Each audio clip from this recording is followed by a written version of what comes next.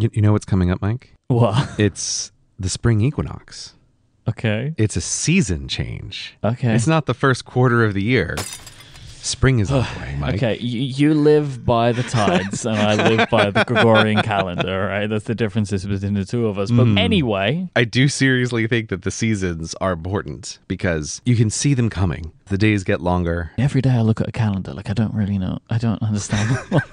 that is like more definite. No, I, I just I disagree. My relationship with a calendar is the teeny tiny fantastical icon in my menu bar that just says 9, 10 or 11. I can and frequently do forget what month of the year it is. Like I know wh- you know, I know where we are within the month, but it's easy to forget like, wait, is it February Just or take a look out the window, you know what I mean? Look at your sundial and then you'll work it out. But but that's just it. Over the course of 3 months, you can see the seasons changing. And that's Sure. Myke how you know time is passing. okay.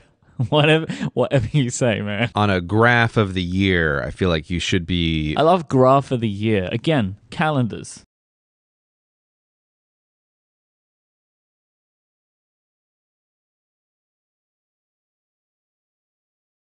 du?